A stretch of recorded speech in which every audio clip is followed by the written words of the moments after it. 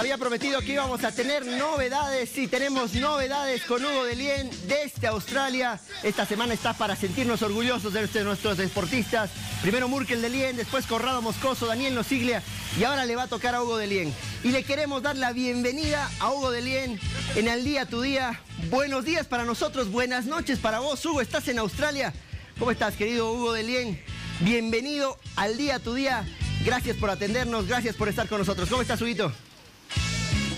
¿Qué tal? Buenos días, Beto. ¿Todo bien? Aquí estamos eh, ya por dormir en un ratito para empezar el día de mañana a través de los entrenamientos. ¿Qué hora tienes, Hugo? Son las 10 y cuarto. 10 y cuarto. De la noche. 15 horas de diferencia tenemos con Hugo Alien. 15 horas. terminando el día ya. Terminando el, él está en Australia, le contamos a la gente, porque va a participar en su tercera Australian Open. El, uno de los grandes slam. A ver, para que la gente tenga, tome noción de dónde está Hugo. Hay cuatro grandes torneos en el mundo del tenis, el Australian Open, el Abierto de Francia, Wimbledon y el Abierto de Estados Unidos. Y Hugo empieza una vez más el año en Australia, como lo hizo en 2020, en 2021, preparándose para el Gran Slam. ¿Qué manera de empezar el año, Hugo? Después de seis meses, además de la lesión, ¿cómo estás físicamente? Sí, la verdad que sí, contento porque eh, no sabía si iba a llegar, obviamente, a, a poder estar al 100% para competir en, en Australia de nuevo. Creo que hicimos lo mejor que pudimos para recuperar lo antes posible y poder hacer una buena pretemporada y creo que se logró. Me siento bastante bien, me siento ya sano de la muñeca, todavía falta recuperar un poco más de movimiento y flexibilidad, pero ya el dolor no lo tengo eh, y físicamente y tenísticamente estoy muy bien, estoy limpio mentalmente y creo que va a ser un, un buen año este, este que viene. Limpio mentalmente, nos dice Gobelien. En el tenis la cabeza es fundamental, fundamental. Y a vos te veo bien rodeado siempre. ¿Estás con la familia? ¿Estás con tu esposa, con Cami, con, con Mila, la chiquitita? Acá no, acá no vinieron porque como solamente juego un solo torneo eh, y obviamente es muy largo el viaje, para Mila iba a ser un poco complicado. Entonces no, no, no vinieron para acá. Bueno, pero mentalmente estás bien porque estás bien con la familia, estás bien rodeado, estás con un equipo grande como siempre. Eh, este Australian Open te agarra en un momento de tu carrera importante. En el tenis es la explosión, que ya la tuviste, y el sostenerse, el mantenerse. Bueno, te toca empezar a mantenerte ya en ese nivel, en estos cuatro Grand Slams. Empezar el año es una buena señal, digamos, empezar el año en Australia. Sí, una lástima el año pasado, digamos, que, que venía apuntado a ser mi mejor año y creo que dentro de todo fue eh, mi mejor año, aunque haya jugado seis meses. Y eso significa muchísimo, ¿no? Que en seis meses pude lograr el, mejor año de mi carrera, que fue conseguir eh, eh, volver al top 100 y agarrar mi, mejor ranking.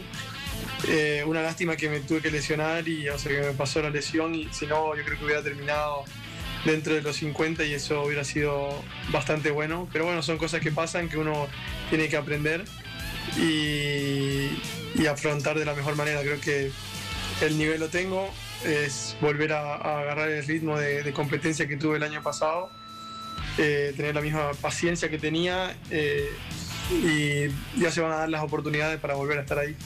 Si te hablo del Australian Open, el mejor recuerdo que tienes, ¿me cuentas? Creo que, creo que se me viene a la cabeza a mí uno, pero a ver, contame cuál Rafa. es. Rafa, claro. El de Rafa. Rafa Nadal. Fue, fue como eh, el momento en que Hugo se presentó al mundo, ¿no? Ese momento frente a Rafa Nadal entrando en Australian Open.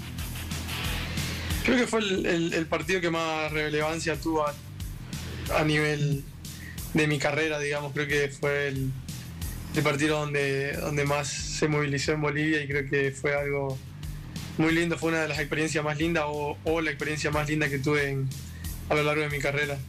¿Cómo te está yendo con la pista dura de Australia? Porque no es lo mismo jugar en polvo de ladrillo, en césped. Bueno, pista dura, que es quizás tu segunda mejor superficie, pero ¿cómo, te está yendo? ¿Cómo te has preparado en Buenos Aires? Creo que eh, es la mejor vez que me siento, sinceramente.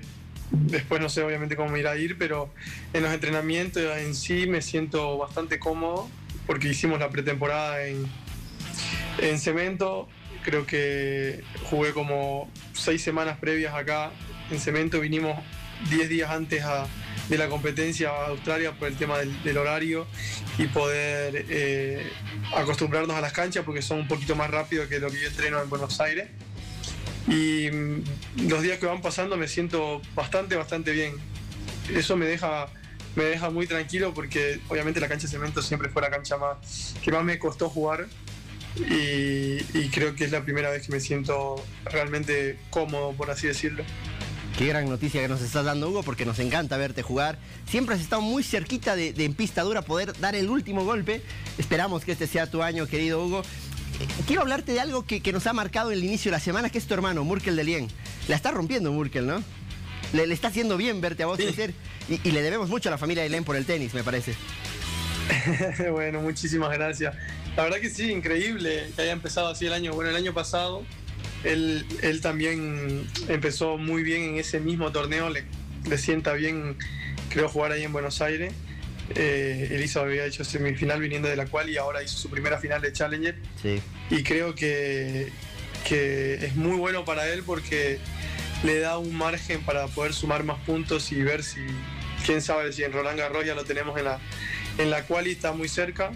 Obviamente para mí sería increíble poder eh, estar juntos en, en, un gran slam sería algo soñado, creo, para, para mí, para, mí, para mi familia también y, y para él también, que, que, hace muy poquito él empezó a jugar profesional, digamos, porque él estuvo en la universidad y el año pasado recién fue que se empezó a dedicar al 100% y, y ya está tratando de, de, de, estar lo más cerca posible de los Grand Slam y eso es admirable porque a mí me costó muchísimo más tiempo de lo que a él le costó o le está costando por, por lo menos hasta ahora.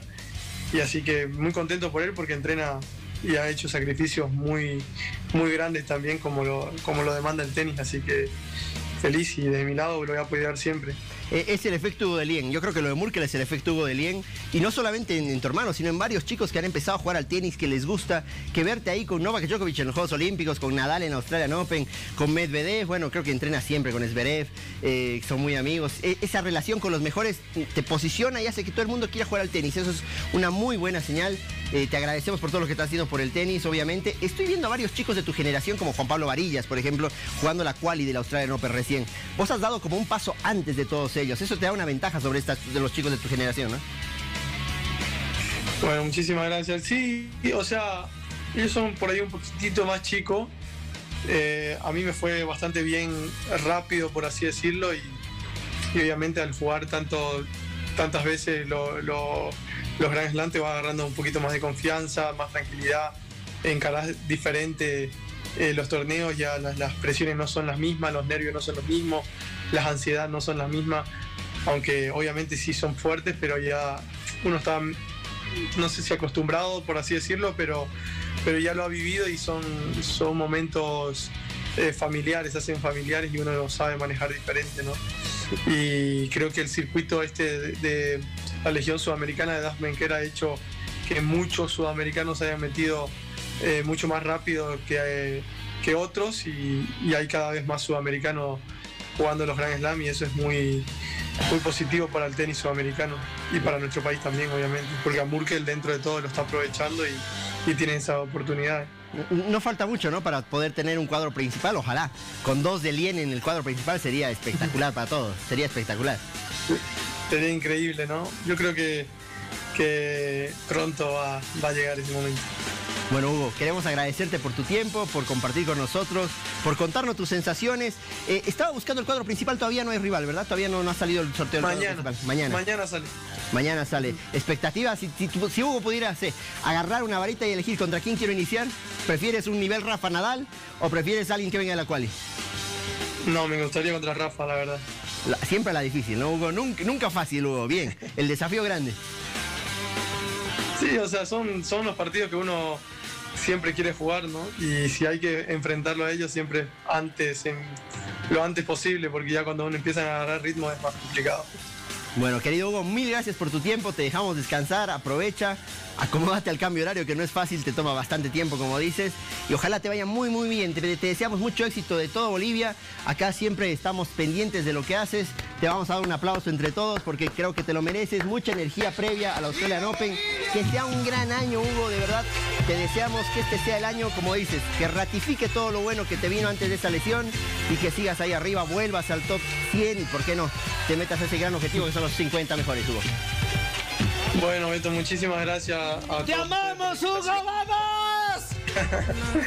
bueno, muchísimas gracias, de verdad. Así que acá yo voy a tratar de hacer lo, lo, mejor posible para representar al país de la mejor manera y que puedan disfrutar y, y, a pesar de por ahí los momentos difíciles que está pasando el país, poder disfrutar un poquito aunque sea. Así que les mando un abrazo grande a todos, muchísimas gracias por, por la invitación y, y esperemos que sea un, una gran semana. Gracias, querido. Un abrazo grande para vos. Descansa, cuídate y un gran inicio de año. Abrazo para Hugo hasta Australia, allá en Melbourne, donde está instalado 15 horas de diferencia. Le agradecemos el esfuerzo también, Huguito. Y que le vaya muy, muy bien en este Australian Open. Bolivia presente una vez más. Vamos a flamear la balera, como estuvimos toda la, toda la semana en Arabia Saudita con Daniel Nocilia, como estuvimos con Murkel de Lien en Buenos Aires, como estaremos con Hugo de Lien de este lunes en el Australian Open, uno de los mejores.